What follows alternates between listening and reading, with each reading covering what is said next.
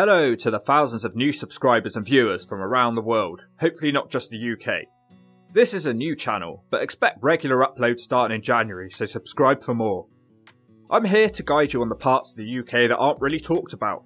London, Shundon. Cambridge, Shamebridge. Bath, you're having a laugh. Just 16% of England's population lives in London, so to see the rest, you've got to leave.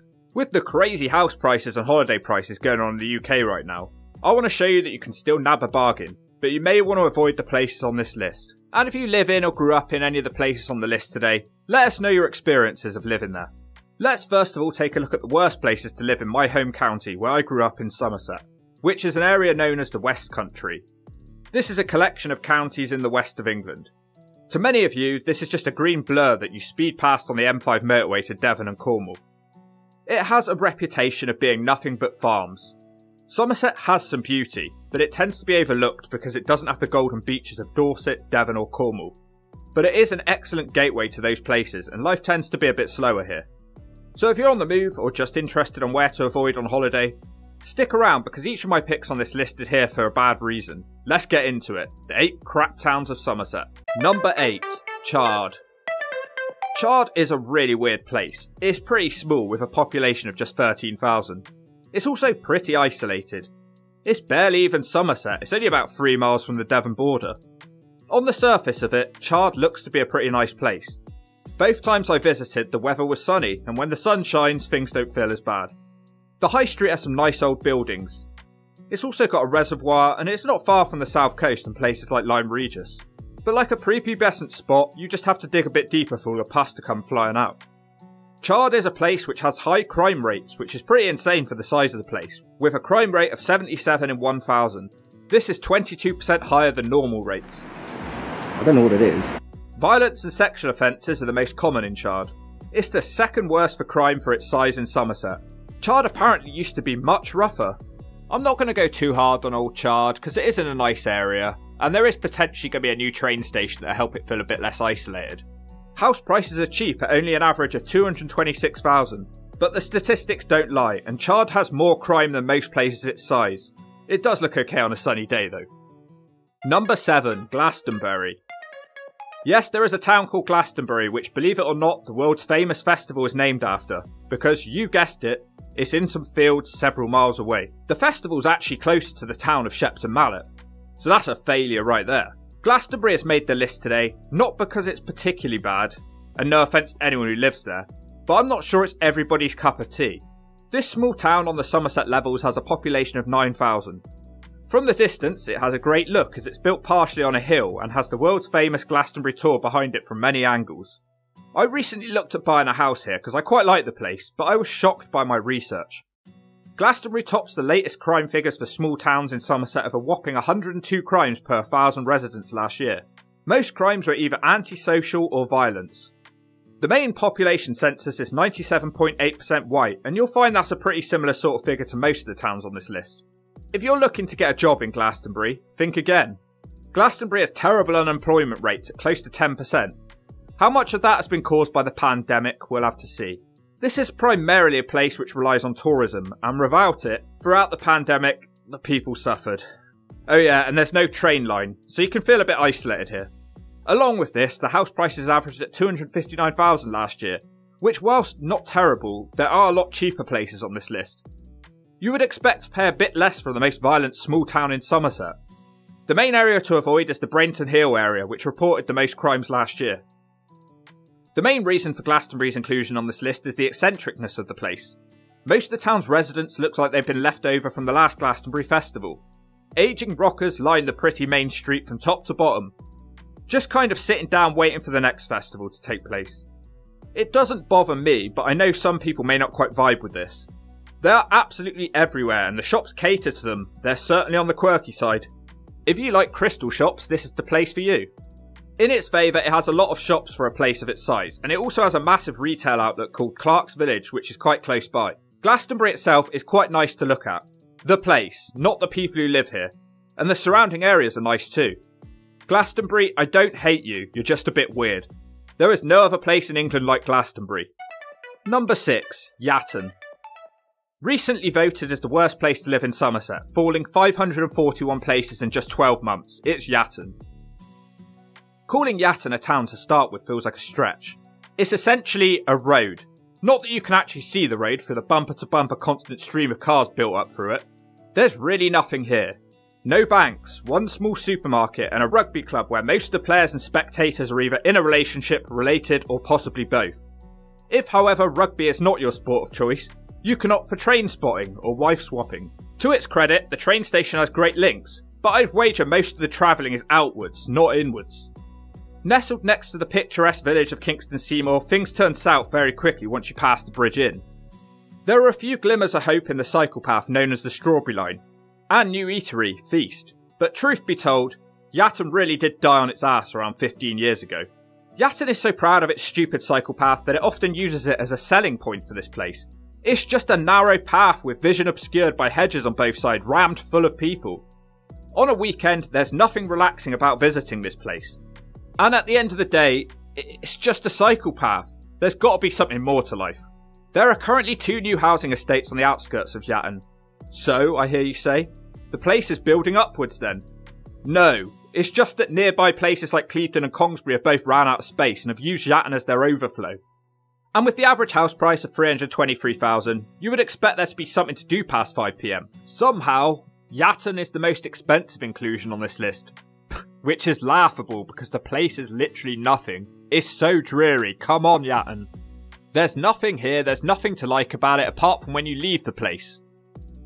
It's hard to know which direction Yatton needs to take. Do they need to build new infrastructure to allow for the amount of new residents making themselves bigger in the process? Or do they rest on their laurels as a small picturesque town try to push this agenda more? Either way, whatever they're doing now, it's not working. A simply dreary and boring pointless place to live. Number 5, Minehead. Wait, Minehead? That's supposed to be pretty nice, isn't it, I hear you say? People come on holiday here from the middle of England and it boasts of Butlins and one of the very few sandy beaches in Somerset. Well, much like many of the UK's seaside towns, you have to walk off the promenade and see the real Minehead. And it's not as bad as some of the later entries in this list, but it's not exactly a great place for a holiday. This seaside town with a population of 12,000 is also nestled between Exmoor and the Quantock Hills, both known for their beauty. Minehead itself is poorly stocked with shops considering how isolated it is. And don't go thinking you could do your shopping elsewhere. Your nearest option is Taunton, which is 25 miles away. And that leads me on nicely to talk about transport. This place sucks when it comes to getting around. You really only have two choices, the A39 or the A358. And they're both windy, small, and in the summer you've got no chance. A 25 mile journey can easily take an hour in the summer, Minehead does have a train line, which you might think would ease the congestion on the small roads in the summer. But no, they can't be bothered to open it properly and it just runs steam trains in the summer. It's almost like they enjoy you being stuck in your car. In the winter, Minehead is depressing, much like many of the UK seaside towns, which pretty much close down altogether. And then in the summer, everything opens right up, but as a resident, you would have to deal with a bunch of boozy stag doos, all of this boozing has led to a slightly higher crime rate than the rest of the county at 63 crimes per thousand people. When Butlins is closed for the winter, you can expect to find a bunch of miserable old people, as Minehead tops the list with the highest percentage of people over 60, at a whopping 41.5%. It's not cheap living here either, with the average house price coming in at 278,000. And whilst the wages here are okay, you have to factor in the petrol prices, if you live in Minehead, you're gonna have to use your car a lot for hours a day, which pretty much nullifies the higher wages. In closing, it's okay here for a day out, but I certainly wouldn't want to stay any longer. Number 4, Yeovil. Yeovil is affectionately known as Yeovil by locals, and there's a good reason for that. This isolated town has a population of 45,000 people, and they're all just stuck here.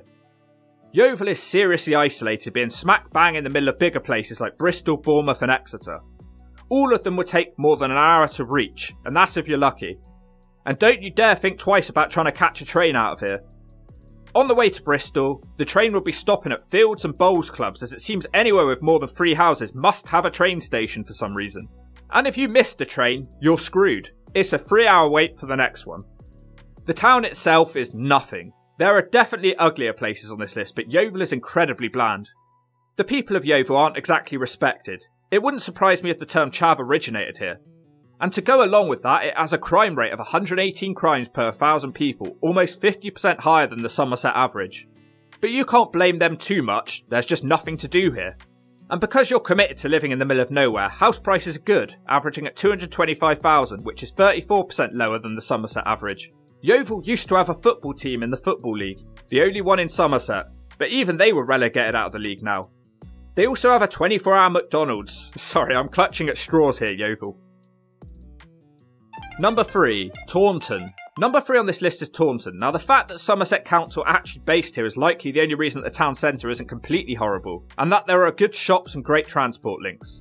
But even the powers that be can't stop it from officially being the most violent town in Somerset, with 93 crimes per thousand people, 37% above the southwest average. The highest type of crime is vehicle crime, and that's likely because everyone is in a Shaun of the Dead like scramble to get away from the place, and this probably accounts for the awful traffic in and around the area too. If a town's saving grace is its service station, you know you're pissing in the wind. And you may as well be, as this is the middle of nowhere.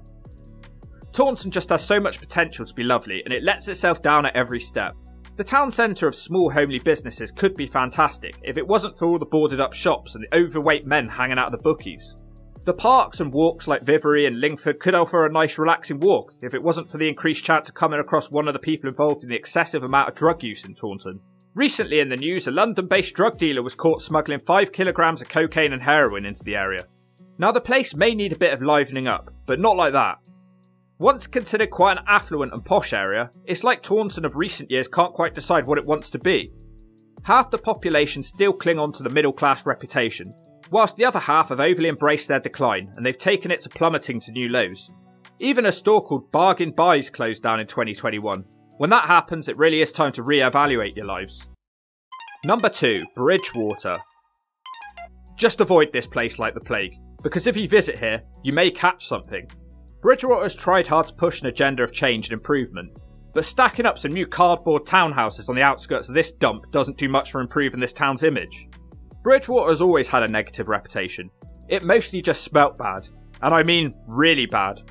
The town was dominated by the smells from a local cellophane factory, which luckily closed its doors in 2005. Talking of closing, there used to be a water park called Bridgwater Splash, which was the only reason anyone from outside of Bridgwater ever visited, but that was also closed because that would be too much fun. This town of 41,276 people is squashed next to the M5 motorway, and I expect most of you have sped past here in an effort to get away as fast as possible.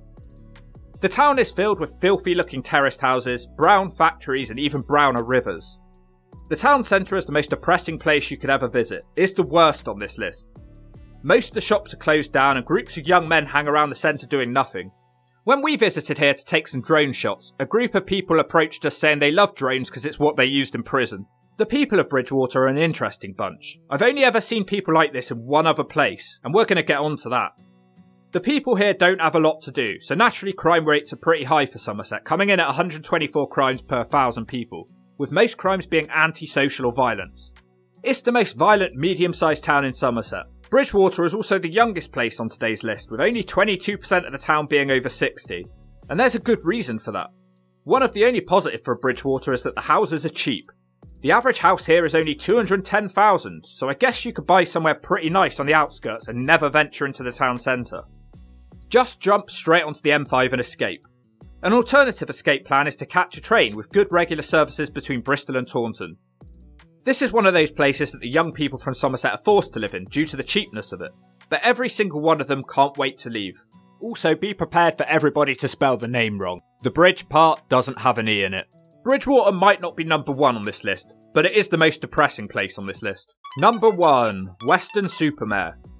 I was torn between Weston and Bridgwater for the worst place in Somerset. That was until one massive fact came up which could not be ignored. Weston is very similar to Bridgwater in many respects. The town centre is depressing, the choice of shops is poor, and the people hanging around the town centre all look like they've seen better days. Differing to Bridgwater though, Weston has the highest ethnic diversity in Somerset, with around 95% of the population being white. It's still not a lot, but it's a fact we needed to include, because people apparently care about that sort of thing.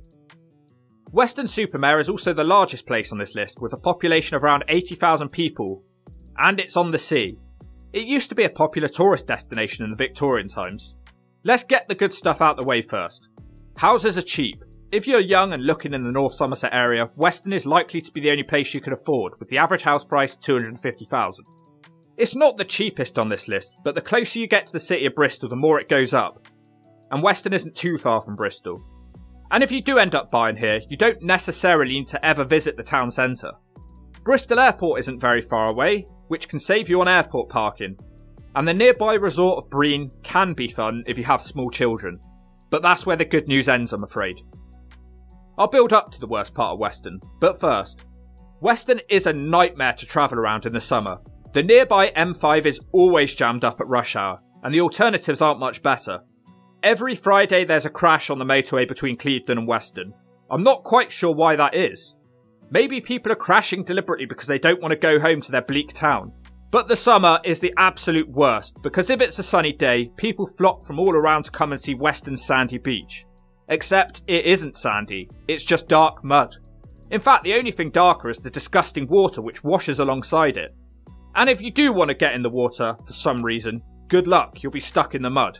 So the roads and the beach is bad, but what else? Weston does have a train station, but since the pandemic, trains only seem to be running hourly, and the service wasn't exactly reliable in the first place.